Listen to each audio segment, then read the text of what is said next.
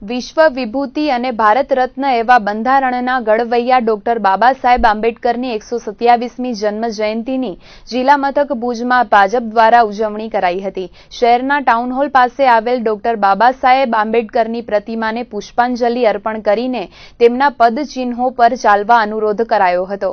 આ પ્રસંગે જિલ્લા ભાજપ પ્રમુખ કેશુભાઈ પટેલ, ભુજના ધારાસભ્ય ડોક્ટર નીમાબેન આચાર્ય, ભુજ નગરપતિ અશોક હાથી, જિલ્લા મહામંત્રી શૈલેન્દ્રસિંહ જાડેજા ભુજ તાલુકા પંચાયતના ઉપપ્રમુખ હિતેશ ખંડોર, બાડાના પૂર્વ ચેરમેન કિરીટભાઈ સોમપુરા, નગરસેવિકા ગોદાવરીબેન ઠક્કર સહિતના ઉપસ્થિત રહ્યા હતા.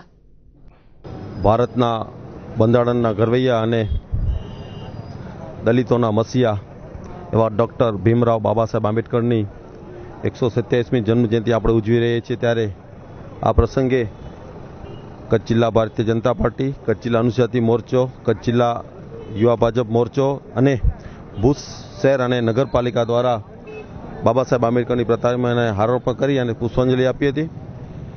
બંધારણના ઘરવૈયા ડૉક્ટર બાબા સાહેબે જે આપણે ભારતનું બંધારણ રચ્યું અને બધેને બંધારણ સોપરત કર્યું, એ ન્યાય માટેનો બંધારણ છે. આજની તારીખમાં બધેને આ ન્યાય માટે બંધારણ લાગુ પડે છે. ભારતના બંધારણના ઘરવૈયાને નગરપાલિકા પ્રમુખ અને મારા પરિવારથી બાબા સાહેબને શ્રદ્ધાંજલિ અર્પણ કરું છું.